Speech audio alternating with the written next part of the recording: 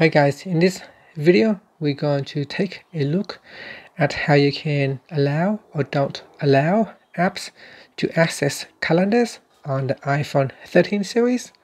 First let's go back to your home screen by swiping up at the bottom of the screen and on the home screen tap on settings. In settings go down and tap on privacy.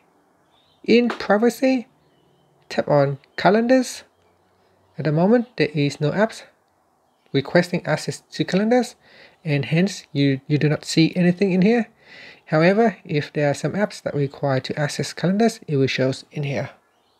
Okay, so I have recently just installed Google Calendar and as the result, you can see there is now an item in here which allow me to turn on or turn off. So if I turn off, I will deny Google Calendar to access calendars information and if I go in here and try to turn on Google Calendar you can see um, the information will not be available because I have denied it to access my calendars on my device.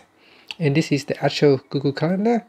Uh, it can also pull information from my uh, calendars on the iPhone.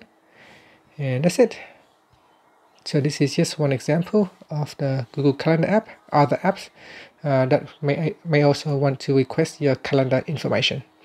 And that's it. Thank you for watching this video. Please subscribe to my channel for more videos.